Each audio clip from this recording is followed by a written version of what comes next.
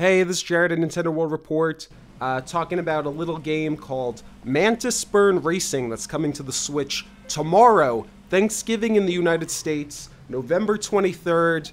Uh, I'm th- this preview is based on, or th- these thoughts of mine are based on a preview build of the game that I played about a month ago. I only was able to play about 20 minutes of it, but it runs 60 frames per second. Uh, I played in undocked mode, 720p on the screen. If you, if you play docked, it's going to be 900p. Game looks really nice, uh, runs smooth.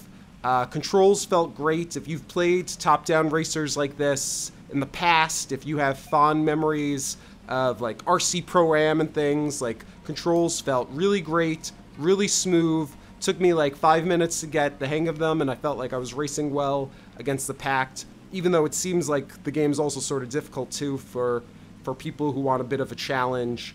Um, it seems like this this is the definitive version of the game. Uh, this game's been out on Xbox One, PS4, and PC. I think for a few months now, at least a few months, maybe a year for one of those. Uh, so this this version is including DLC from those other systems. There's like a Battle Cars DLC and Snowbound tracks, which people had to pay for in the past, but they're they're included here.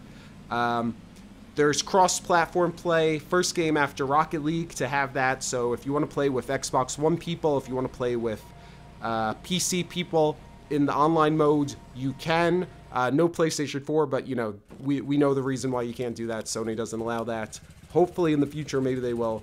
Um, but uh, yeah, there's a big career mode. It's got like an RPG style upgrade system. Uh, overall, it seems like a you know a fun racer. Um, I again, I only played it for about 15 minutes, an older preview build, but it, it definitely was fun. Uh, and I think we're gonna have a review sometime in the near future. Uh, so, yep, just thought I'd, you know, stop in, give a little details about this cool game, and uh, thanks for listening. Bye.